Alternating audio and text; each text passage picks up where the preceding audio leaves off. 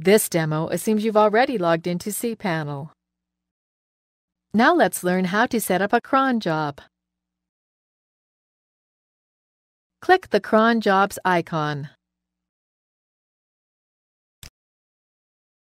Enter the email address where you want the cron job results sent after each time it runs.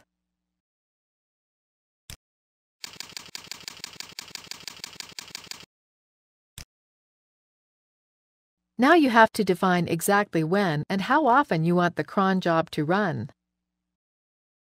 This is made easier by using one of the predefined or common settings. Notice that by choosing a common setting, all fields are filled in automatically. This also helps you understand what each field means. Let's choose once a week.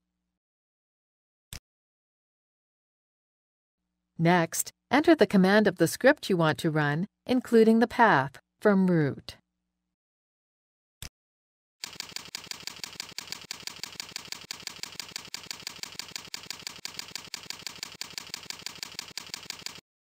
When ready, click Add New cron job. That's it. The cron job has been set as you can see here.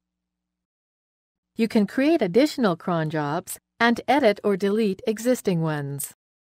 This is the end of the tutorial. You now know how to set up cron jobs in cPanel.